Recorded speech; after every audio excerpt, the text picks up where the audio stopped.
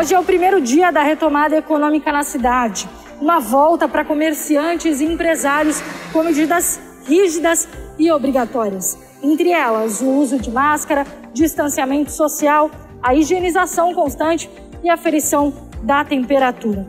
As regras estão sendo fiscalizadas pela Prefeitura e pela Polícia Militar. As multas são de 10 mil reais para o estabelecimento aberto sem permissão e 3 mil reais para os locais que não cumprirem as medidas de prevenção contra a Covid-19.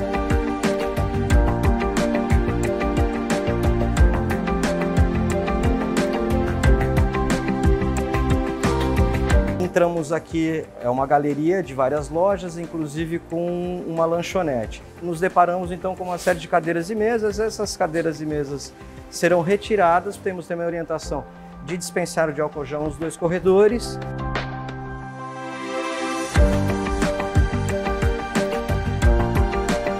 Todas as dúvidas vocês nos esclareceram. Eu não sabia que podia provar roupa, mas eu sabia que tinha que vir com máscara. Comprei essa máscara também, que eu acho muito importante para quem não usa óculos. E acho também importante a gente passar para os clientes a segurança nossos cuidados. Senão a gente vai perder tudo que nós fizemos até hoje.